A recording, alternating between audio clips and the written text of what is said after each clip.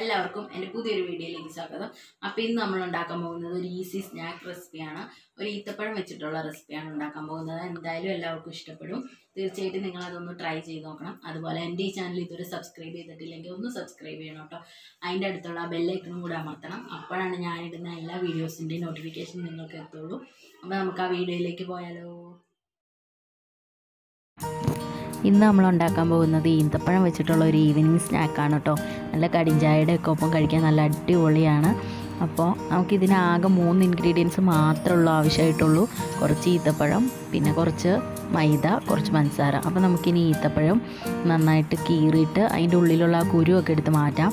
അപ്പോൾ ഈ നിങ്ങൾക്ക് ഉണ്ടെങ്കിൽ മാത്രം വെച്ച് കൊടുത്താൽ മതി. ഈ കുരു എടുത്ത് കളഞ്ഞിട്ട് ഞാൻ അതിന്റെ ഉള്ളിൽ ഒരു ക്യാഷ് വെച്ച് കൊടുക്കുന്നുണ്ട്. അത് വെക്കണമെന്ന് ഒരു നിർബന്ധമില്ല കേട്ടോ. ഓപ്ഷണലാണ് പിന്നെ നിങ്ങൾക്ക് ഇനിയിപ്പോൾ അങ്ങനെ അല്ലെങ്കിൽ കുറച്ച് തേങ്ങ ചിരണ്ടി അതിനകത്ത് പഞ്ചസാരയൊക്കെ മിക്സ് ചെയ്ത് നമ്മൾ ഈ അടയ്ക്കൊക്കെ ഉള്ളിൽ വെക്കും പോലെ അങ്ങനെയും വെച്ച് കൊടുക്കാം കേട്ടോ. അതും നല്ല ടേസ്റ്റാണ് ഇത് രണ്ടും വെച്ചില്ലെങ്കിലും ഒരു പ്രശ്നവുമില്ല ഈത്തപ്പഴം അതുപോലെ തന്നെ കുരുവെടുത്ത് മാറ്റിയിട്ട് എടുത്ത് വെച്ചാൽ മതി.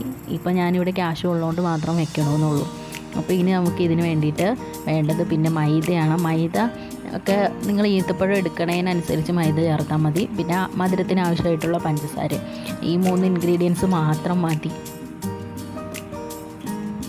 ഇനി നമുക്കൊരു ബൗൾ എടുത്തിട്ട് അതിലേക്ക് ഇതിനാവശ്യമായിട്ടുള്ള മൈദ ചേർത്ത് കൊടുക്കാം. മൈദയൊക്കെ ഞാൻ പറഞ്ഞല്ലോ നിങ്ങൾ എന്തോരാണോ ഈ ഈത്തപ്പഴം എടുക്കണം അതനുസരിച്ചാണ് കേട്ടോ മൈദ. അല്ലാണ്ട് മൈദയ്ക്കൊന്നും പ്രത്യേക ഒരു അളവൊന്നുമില്ല. ഞാനിവിടെ ഈ സ്പൂണിന് ഒരു മൂന്ന് സ്പൂൺ നാല് സ്പൂൺ മാത്രമേ ഞാൻ എടുത്തിട്ടുള്ളൂ. അപ്പോൾ അതിനേക്കാളും ഒരുപാട് കൂടുതലിന്റെ ഒന്നും ആവശ്യമില്ല. ഇത് തന്നെ എനിക്ക് മിച്ചം വന്നായിരുന്നു. അപ്പോൾ കുറച്ച് മാവ് മതി. പിന്നെ നിങ്ങൾ എപ്പോഴേലുമൊക്കെ പഴംപൊരിയൊക്കെ ഉണ്ടാക്കുമ്പോൾ ആണെങ്കിലും ഇതുണ്ടാക്കാം. ഇനി നമ്മൾ ഇതിലേക്ക് ആവശ്യത്തിനുള്ള പഞ്ചസാരയും കൂടെ ചേർത്തിട്ട് കുറച്ച് വെള്ളം ഒഴിച്ച് ഒന്ന് നന്നായിട്ട് മിക്സ് ചെയ്തു. നമ്മൾ ഈ ബോളിയൊക്കെ പൊരിക്കുമ്പോൾ നമുക്ക് മാവ് ബാക്കി വരുമല്ലോ. അപ്പോഴും നമുക്കിത് ഉണ്ടാക്കാം കേട്ടോ.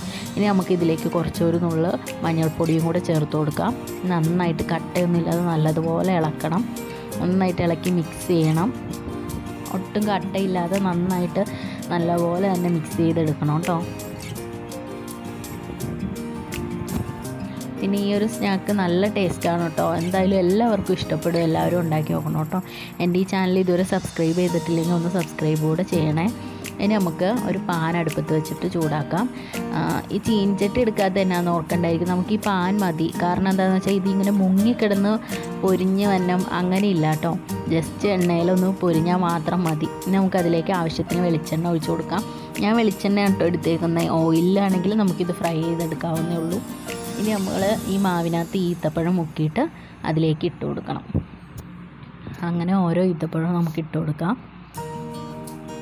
വെന്ത് വരാനൊന്നും ഒരുപാട് സമയത്തിന്റെ ഒന്നും ആവശ്യമില്ല കേട്ടോ. പെട്ടെന്ന് തന്നെ ആവും. ഈ മാവൊന്ന് വേവണ സമയം മാത്രമേ ഉള്ളൂ. അല്ലാണ്ട് ഈത്തപ്പഴം ഒന്നും വേവാനൊന്നും ഇല്ലല്ലോ. സിമ്പിൾ റെസിപ്പിയാണ്. നല്ല ഈസി റെസിപ്പിയാണ്. നല്ല ടേസ്റ്റുമാണ്. എന്തായാലും എല്ലാവരും ഒന്ന് ട്രൈ ചെയ്ത് നോക്കണം കേട്ടോ. ഇനി ഇതിന്റെ ഒരു ഭാഗം നന്നായിട്ട് മുരിഞ്ഞു വരുമ്പോൾ നമുക്കിത് ജസ്റ്റ് ഒന്ന് മറിച്ചിട്ട് കൊടുക്കണം.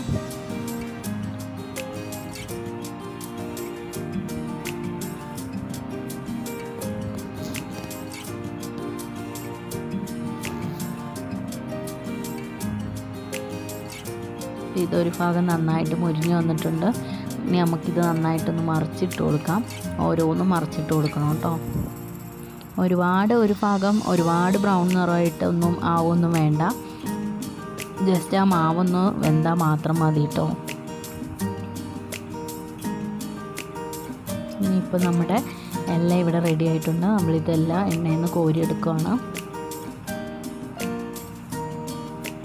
നല്ല ടേസ്റ്റാണ് കേട്ടോ എന്തായാലും എല്ലാവരും ട്രൈ ചെയ്ത് നോക്കണം. അടിപൊളി ടേസ്റ്റാണ്. ഇപ്പോൾ നമ്മുടെ എല്ലാ ഈത്തപ്പഴം പൊരിയും ഇവിടെ റെഡി ആയിട്ടുണ്ട്. നല്ല രുചിയാണ്. എന്തായാലും എല്ലാവരും ട്രൈ ചെയ്ത് നോക്കണം കേട്ടോ. Thank you